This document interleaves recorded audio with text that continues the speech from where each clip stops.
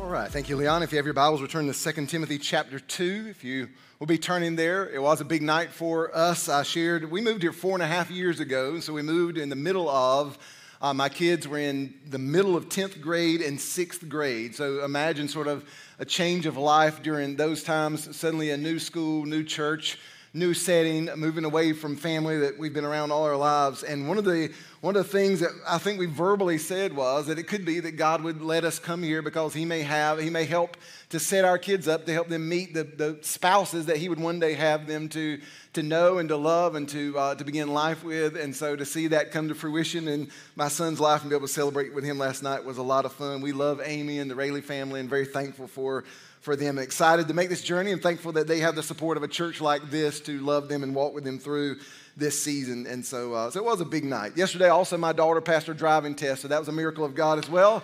So that may be bigger than the Tennessee win. I don't know, but it did. So we're, we're proud of her. It was a big day, a big day for the Kinlaw family, and so a big day for a lot of folks. A lot of talk about football. I want you to imagine for a moment that we all got on the bus today and we went over to Tyner High School and went out on the field of the Tyner Rams, and I stood out in the middle of that field with you with a football, and I put it in your hand, and I told you, go score a touchdown. No opposition, no defense, no one between you and the line. Just hand you the ball, and all you've got to do is cross the goal line, and you would get points. I won't ask you to raise your hand, but I wonder how many of you could score a touchdown in that scenario. Like, I think unless you're, as long as you're, I mean, you wouldn't need special shoes or padding or anything else for that matter, as long as you're able bodied. And even if you're mildly not able bodied, you would have all the time and all that you would need. And you could easily, even with your walker in one hand and your football in the other, you could, almost anybody could score in those conditions. Now imagine the same scenario. I hand you the football and I say, go score a touchdown. And now all the Tyner defensive unit is out in front of you. You've suddenly got opposition in your way. You've got um, a group of 11 strong, healthy, powerful young men that are going to do everything they can to keep you from gaining a single yard, let alone from getting to the goal line. Now, under that scenario, I'll, again, I won't really ask you to raise your hand, but I wonder how many of us think that we could actually score a touchdown under those conditions. The difference is the, the reality, of the position of opposition, that there we would have to deal with a defensive unit. There would be someone in the way who was seeking to stop us from accomplishing that goal of crossing the line.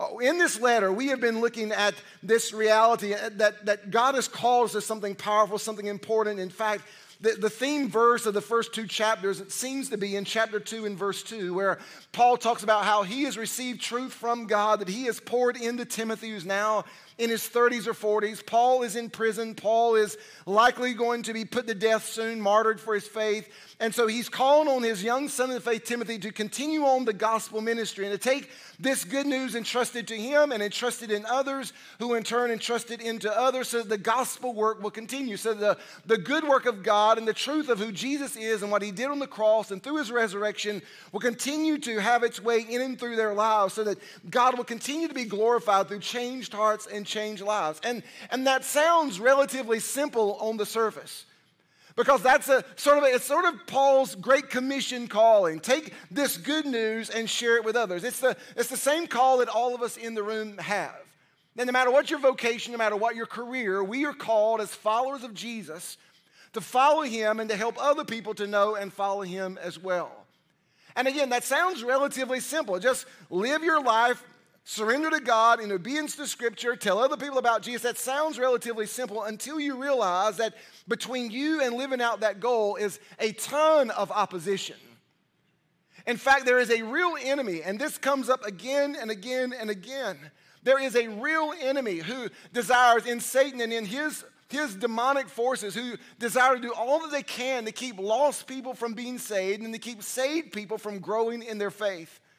That there is a real power that is at work in every circumstance where the gospel is being lived and where the gospel is being proclaimed that wants to silence the gospel and to silence those who would stand for and live out that gospel. And he doesn't show up with a pointy tail and a pitchfork in hand and bright red makeup to say, Here I am to sort of mess up your life. It's much more subtle than that. He, he does so subtly through false teachers and, and their teachings that seek to move us away from truth and, and can even sound religious, sound spiritual, sound good, sound, sound godly, might even quote some Bible verses along the way, but, but can be false teaching that would move us away from truth and away from Christ and away from God and move us farther farther away so that, so that again, so that those who are lost would never come to know Jesus. And so the, those who do know Jesus would not be growing in him and in such a way that we might be drawing others to him. There's, real, there's a real enemy. And again and again throughout this letter, Paul is speaking to this hard work that is involved in living and declaring the gospel in our lives. That, that there is a real enemy, and that if we live in accordance with what God has spoken, if we take what is entrusted to us and steward it well, that we will be persecuted, we will be mocked, we will be ridiculed, we will be attacked, we will be rejected, we will be left out. But as we saw last week, Paul wants Timothy to know, and he wants us to know that it is, it's worth it. It's worth it. And so, our passage today, we're going to pick up at verse 14 as we're continuing our journey through this brief but very um, uh, powerful letter. But our passage for today speaks to these realities as Paul is continuing to encourage Timothy and us to, to keep standing for truth, to keep living and sharing the gospel, to, to keep investing in the next generation of believers, to, to keep working hard in surrender to God, to, to keep on um, embracing suffering if, if necessary, so that through our lives we might combat the lies of the world and the attacks of Satan to help others to know and to love and to follow God and live according to his word. In short, we're, we're calling today, they call it a sort of a great commission focus. A challenge of God, again, no matter what our vocation may be, that we are to live as men and women who are on mission, keeping our focus on Jesus and in his transforming good news, and sharing that good news with others, even as, again, we face great opposition. Keep that in mind. Follow with me, chapter 2, 2 Timothy. Let's pick up at verse 14, and we'll look at uh, 14 through 19 today. Paul says, remind them, speaking of those believers that Paul was, or rather that Timothy is shepherding and leading in Ephesus, the church there, remind them of these things, these things he's just been speaking of, and we'll look at those again in a moment. And solemnly charge them in the presence of God not to wrangle about words, which is useless and leads to the ruin of hearers, but be diligent to present yourself approved to God as a workman who does not need to be ashamed, accurately handling the word of truth. But avoid worldly and empty chatter, for it will lead to further ungodliness, and their talk will spread like gangrene. Among them are Hymenaeus and Philetus, men who have gone astray from the truth, saying that the resurrection has already taken place, and they upset the faith of some. Nevertheless, the firm foundation of God stands, having this seal two things. The Lord knows those who are his, and everyone who names the name of the Lord is to abstain from wickedness.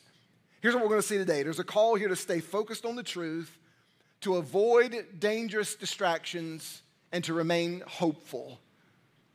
Remain, remind, stay focused on the truth, avoid dangerous distractions, remain hopeful in order to live out this great commission focus of following Jesus and helping others do the same. First of all, stay focused on the truth. With all these distractions, that are pulling at our flesh, these worldly teachings and ideas in the culture around us, it is easy to get diverted. It is easy to get distracted. It is easy to find ourselves, rather than building our lives on the foundation of God's Word, to build it on man made ideologies and thoughts and religious views and perceptions and ideas. And so Paul says, in, because we have these constant threats, because of this constant pull, because of this constant um, barrage of opposition, we must continually remind those under our care, under our shepherding of truth.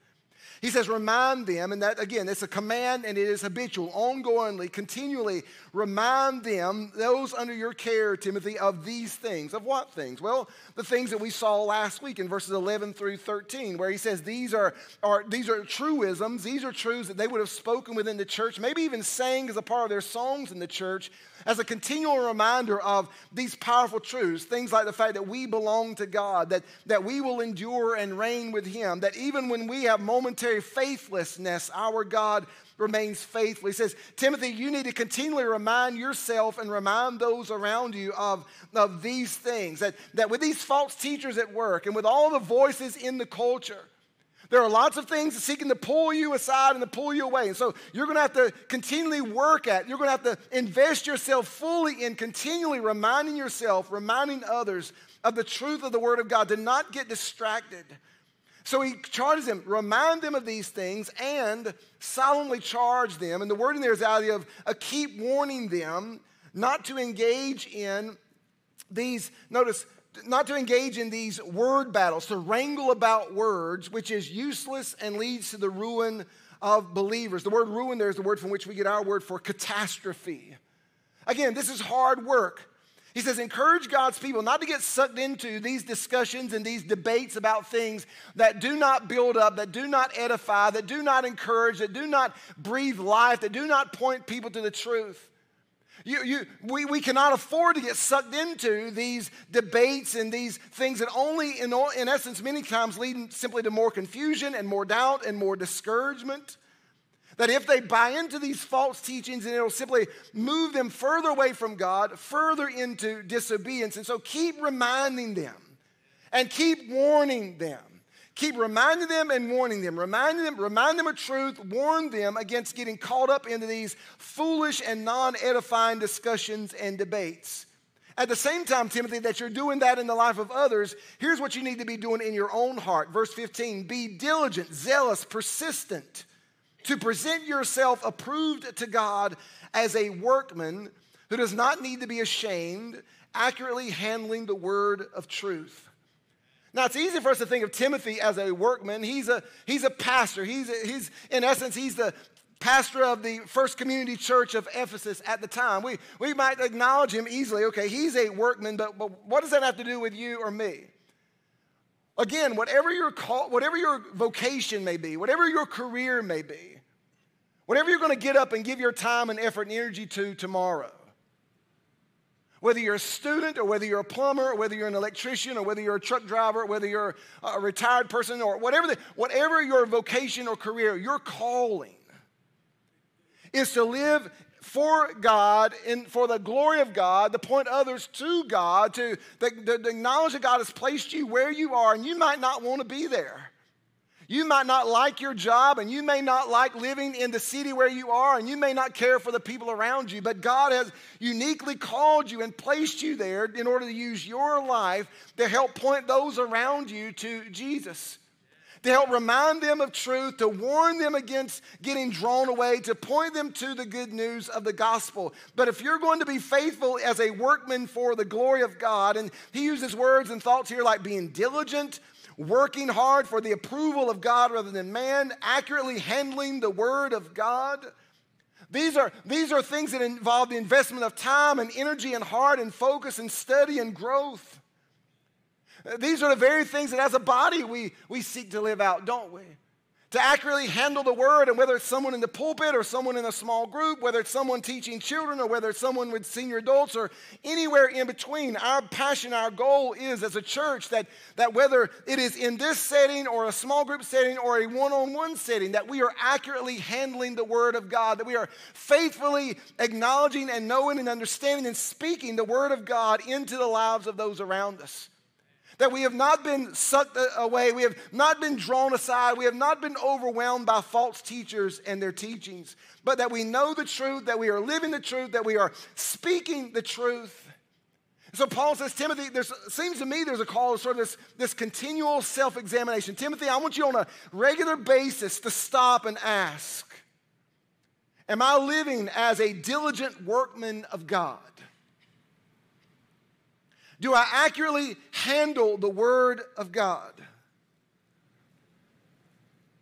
Do I live with an eternal perspective that, that isn't just caught up in this moment, but that sees in the grand scheme of my life that I exist and I am here to be used by God to help other people to know and to follow Jesus Christ?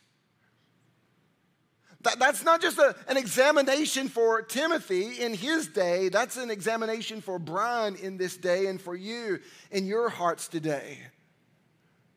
Are you reminding those around you of truth? Are you avoiding getting sucked into the sorts of battles and debates that go nowhere and help no one?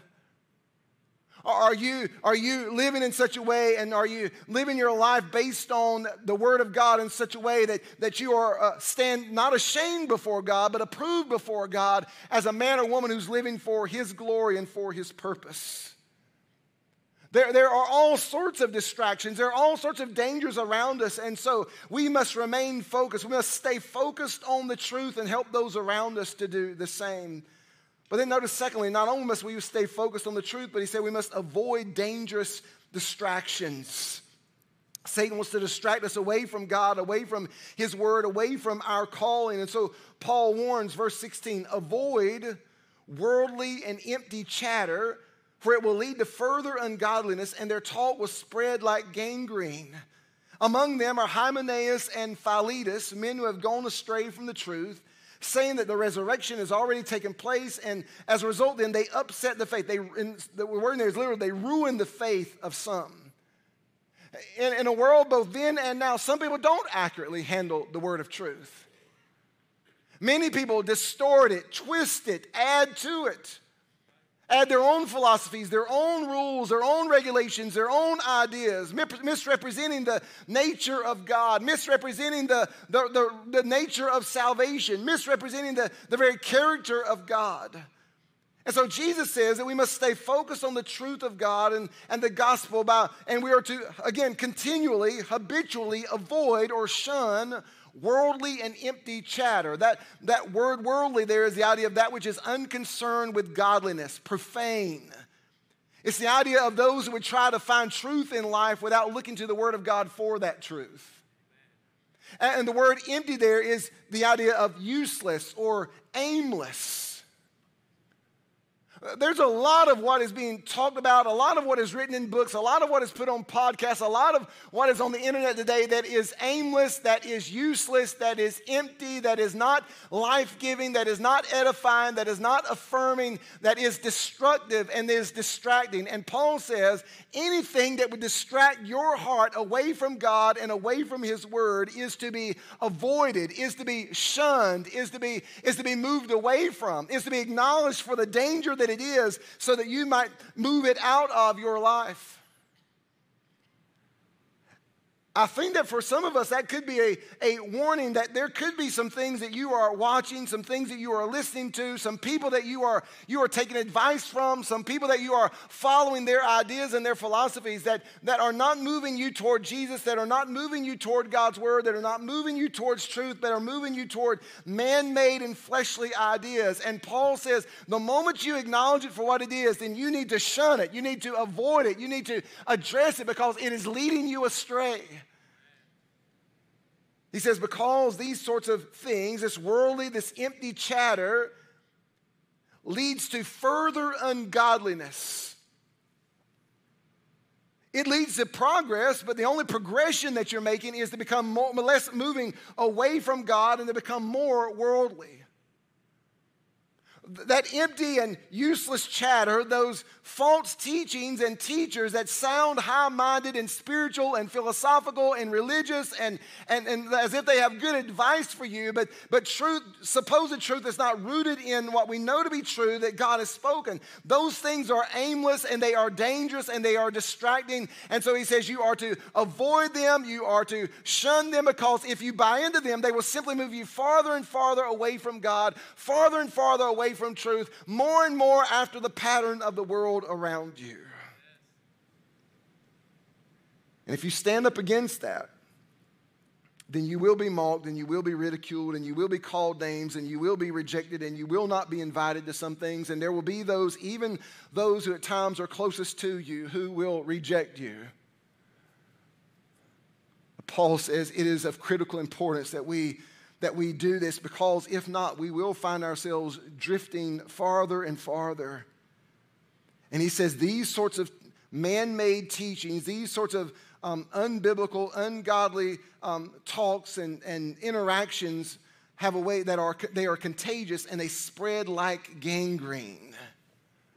Now, we don't hear a lot about that disease in our, in our day because they have um, things that can combat that, but it was, in essence, a, a, um, an infection, a, a bacterial infection that would eat away at the flesh of a person. And I saw some pictures this week of, and it is, it is horrific looking when you see the, the, the um, skin and, the, um, and the, the, the, of the hands, a lot of times the feet that would, that would become dark, and then in many cases would have to be amputated, and oftentimes would simply lead to death. But the point that he's making is that it is infectious, it spreads, it is contagious. It will find its way, if it finds its way into your body, then it will not stop until it is removed. It is destructive. And Paul says that such is the nature of false teaching that when false teaching, when lies, when unbiblical um, ideas are given root in our hearts and we begin to buy into them, then it's not only that we're leading ourselves astray, but that those who are following us, those who are learning from us, those who are, are following our example, those who are watching our lives, that they are being led astray as well. I cannot tell you, men and women, how many times I've seen that someone in a family, and usually a mom or a dad, who gets distracted away from biblical truth and away from Christ and begins to buy into more worldly ideas and philosophies. And before you know it, both the husband and wife are moving in that direction, and then the kids and the whole family are moving in that direction. And sometimes they'll even have extended family who will join them in moving in that direction, moving farther and farther away from God, farther and farther away from truth, building their life more and more on the ideals of the world, destroying not only themselves, but destroying the people around around them. I must guard my heart. I must guard my life. I must guard my thinking. I must be mindful of what I am believing and what I'm buying into because not only does it affect me, it doesn't just affect Brian. Whatever I begin to buy into is going to affect my wife, Buffy, is going to affect my kids, is going to affect those who are under my care and under my leadership and under my shepherding. And under, so I must guard my own heart. I must keep it in check. I must remind myself of truth. And I must shun or avoid those things that are dangerous. And he gives an example here in verses 17 and 18. Among them are Hymenaeus and Philetus men who have gone astray from the truth, they themselves have, and they've led others, saying that the resurrection has already taken place, and they upset the faith of some. Now, Hymenaeus is a, is a rare name in the New Testament, and so this is likely the same guy who's mentioned in the first letter to Timothy, in 1 Timothy 1.20, that Paul said was excommunicated from the church because of his false teaching.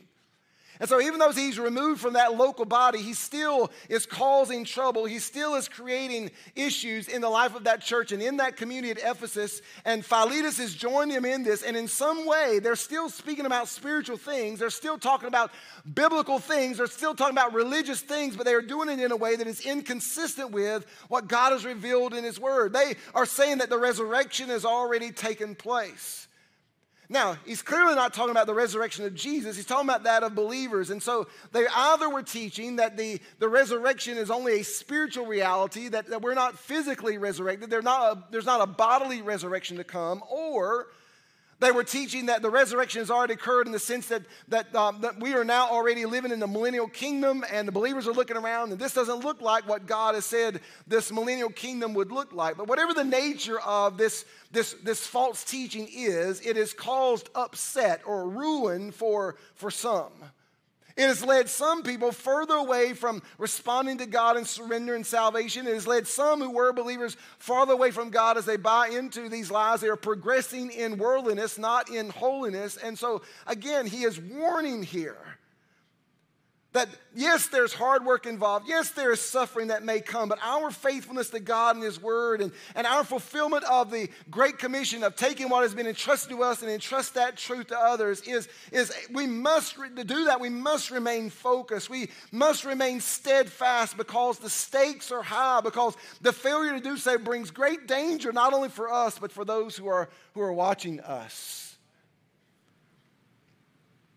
To turn from the Word of God and get distracted by worldly ideas means leading us farther away from intimacy with God and the life that would glorify Him, but also leading others to follow us into our sinfulness and brokenness. And so, to be used of God, to see people saved by Jesus and growing in Him, We must continually focus on the truth from God. We must avoid the dangerous distractions of false teachings and debates that move us away from that truth. But then notice a third reality here, a third call. If we're going to live out this great commission focus, this life that is committed to this call and of being used by God to see others know, find, and follow Christ, he says, remain hopeful in verse 19.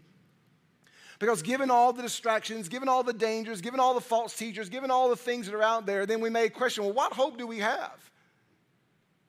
It's sort of like, again, being on that football field and handing you the ball, and you've got 11 big, grown, strong men standing there, standing in opposition. What hope do you have to get that ball across the line? It, it would, seem, it would seem pretty low. And for these believers, that as Paul is writing to Timothy and to those who hear this letter, it, it could be that to hear these things would be to wonder, well, what hope do we have? Like, what hope do we have that we can remain true? What hope that we can we have that we're going to actually impact our culture, given all the distractions and all the challenges and all the dangers and all the opposition that is in front of us? But he gives us all the hope we need in verse 19. Nevertheless, despite these dangers and these threats and these distractions that abound, the firm foundation of God stands having this seal. It's twofold. The Lord knows those who are his, and everyone who names the name of the Lord is to abstain from wickedness.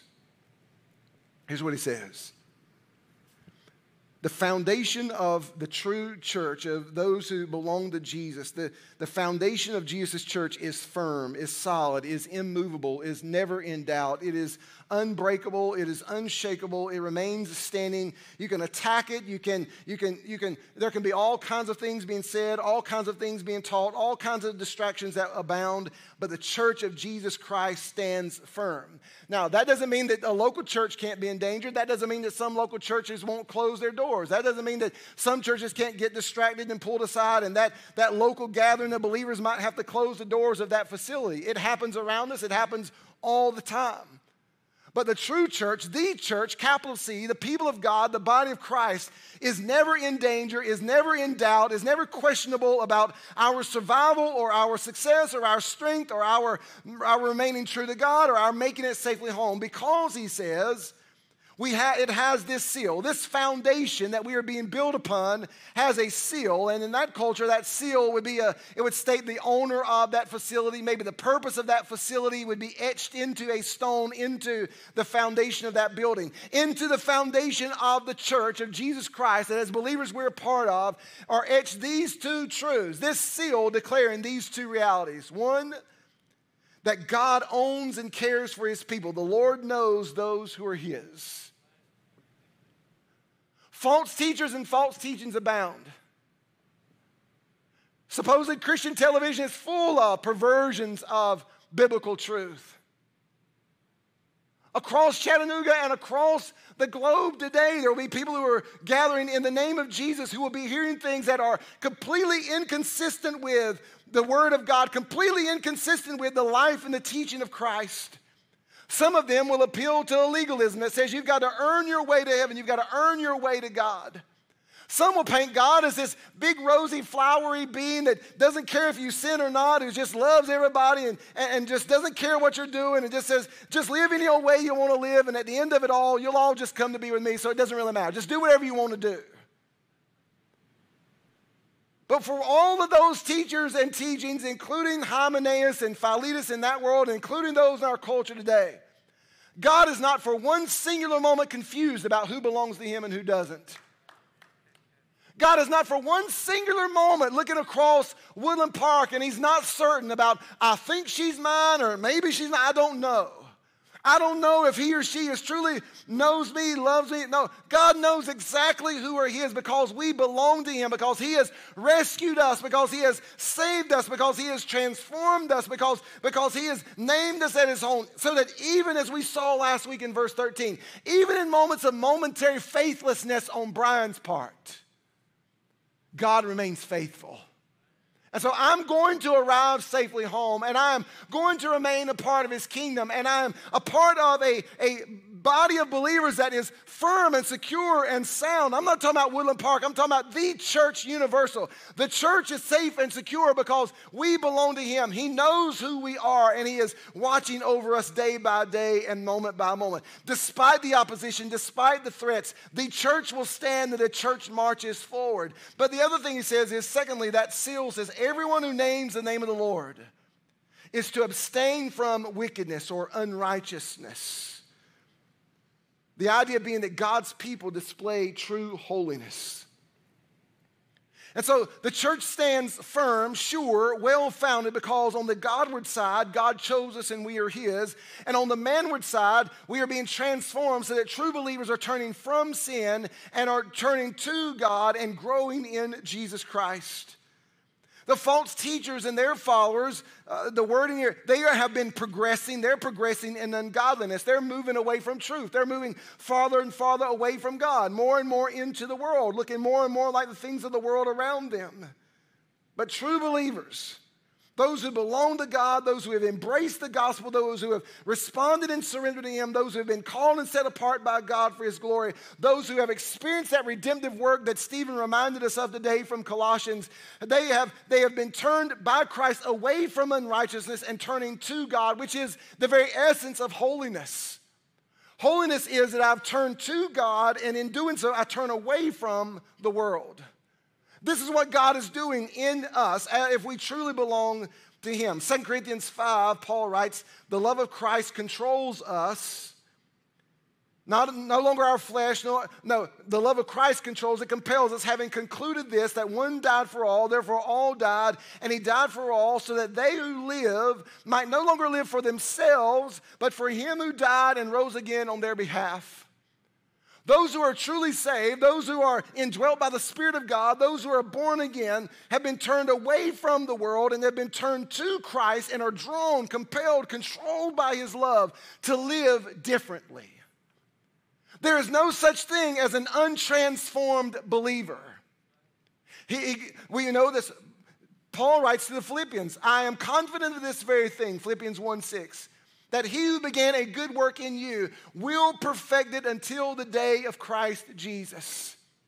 What God started in my heart on that day that I surrendered my life to Christ as Savior and King, He has promised that He will see it through to the end so that Brian Kinlaw will be made to look more and more and more like the Lord Jesus Christ.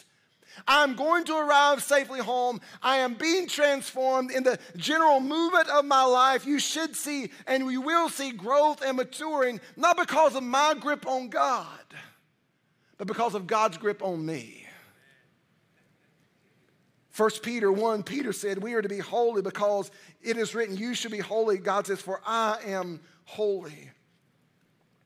And so, as a believer, listen, in the it's not Brian Kinlaw's life nor yours. It's not I got saved here, and from that point until I get to heaven, like every day, it's just growth and maturing and never failing and never falling short and never being faithless, always making the right choice, always doing the right thing. It'd be awesome if that was the case, but it's not. We do have moments and we do have days and we do have seasons where we blow it. My guess is that some of you could look back, I can, can look back over just this past week and you could easily see that there were moments where you should have spoken the truth and you didn't. Where you could have shared the gospel and you were silent. Where you could have spoken words of grace and life and hope over your kids or over your spouse or over your friends and you chose to respond in anger or frustration. So every moment of every day is not some banner moment where, where I'm just upward and onward in everything in my life. But what I will tell you is this that based on the authority of God's word, that in the general flow of my life, from a 30, I'm not talking about from a microscopic level, but I'm talking from a 30,000 foot view. What you should see is that over years and over decades, and what you will see in the life of a true believer is that you or me, whoever it is, that we are being transformed so that more and more who we are is a reflection of who Jesus is. And if I'm not seeing a transformation, if there is no transformation, if I look back and all of my hopes and dreams of heaven and of God are pinned on some singular moment of emotion, I would suggest to you that you're in dangerous territory. The people of God are transformed by God so that over an extended period of time, more and more, God is at work in my life. And even through, listen, even through the hardest things you went through this week, if there were moments that you just want to ball up and, and cry, when you have been most disappointed and most hurt and most um, um, when you struggled at your greatest points in the past week or month or year, in those darkest of moments, listen, even in those moments, your foundation never once shook because God had his hold on you, and God was even using those hard things to make you not happier, but to make you holier, to make you like Jesus. The church isn't in danger. The church isn't. For all of the distractions, for all of the lies, for all of the supposed people who, who profess things in the name of Jesus who do not reflect Jesus at all, for all the books and for all the websites and for all the TV stuff and for all the dangers and for everything in our culture that would pull us, the church stands firm, not because of our strength, but because we are His and because He is working in us to shape us after the likeness of His Son. And that is where our hope is today. And we, we cling to that and we, we praise God for that and we sing to Him and we celebrate that because this is our hope and this is our strength. So, again, when we first hear just live for Jesus and know the truth and tell other people that truth, that sounds really simple. That sounds really easy. That sounds like an easy touchdown. That sounds like an easy score in life. But then if you walk with Jesus very long at all, you find out very quickly that, that you, don't, you don't do so unopposed. There's a real enemy that wants to destroy you and your life and keep you from being transformed and keep others from knowing and trusting and following Jesus through your impact and influence. And so living out the gospel is hard, it's challenging, it brings pain, and at times it will bring suffering. And it's dangerous because it's like um, those false teachers are are like a cancer that take root and are destructive for you and for the people around you. Maybe you're here today and you've been drawn into those philosophies and into the ideas of the world, and, um, and maybe, you've never, maybe you've never submitted yourself to the truth of the Word of God. Maybe you've built your whole life on, on your own ideas and your own thoughts and on the world's patterns and the world's philosophies and the, the culture of the world around you. To do so is to build your life on sinking sand that cannot withstand the storms of life, that is to be destructive to you and to the people around you. Maybe God, in His grace,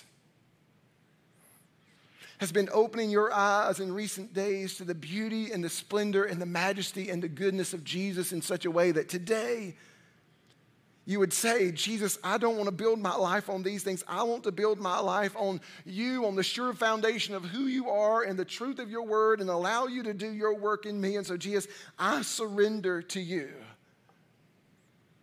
If that's the desire of your heart, then He will meet you right where you are. And you don't have to come to the front. You don't have to pray some highfalutin prayer. And you don't have to fill out some form. You simply have to call out to Him in honesty and say, I'm a sinner and I need a Savior. And Jesus, you're the only one who can be that. And so I surrender to you. I give my life to you. I believe you died for me and you rose and you conquered death and you're alive. Now come and be the Lord and leader of my life. And if we crowd Him in humility and sincerity and brokenness and turn Him, He will meet you where you are and He will give you life and hope today and He will begin His transforming work in you. You don't have to be good enough for Him. He will transform you from the inside out as you surrender to Him. After the service today, if you're say, man, I'd love to talk to somebody about that. I'll be right down front. I'd love to chat with you. Any of our pastors would be glad to talk with you. If you're more the email person kind, then you can email us at hello at woodlandpark.org and we'd be glad to begin a conversation with you. But I know finally that for most of you in this room, you would say that you're a believer, that you have given your life to Jesus. And I would just remind you again that no matter what your vocation, no matter what your career, your calling is to be a person who's following Jesus and helping other people find and follow Jesus. You may hate the Chattanooga area. You may hate your job or the school you're going to. The people you have to deal with daily may be the most frustrating people in your life, and it may be the person you wake up beside, and it may be the person you look at in the mirror.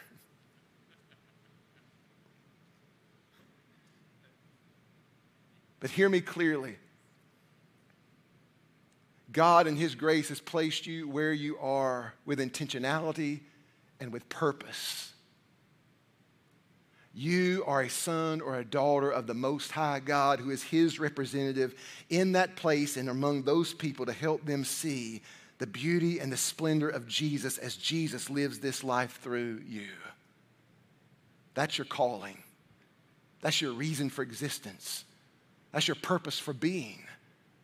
Jesus, be Jesus in me. Jesus, reveal yourself in and through me. But to do that, then Paul's given us some clear things to be mindful of. And so, as we wrap up this morning, I just want to invite you to, to bow your heads and to close your eyes before the Lord.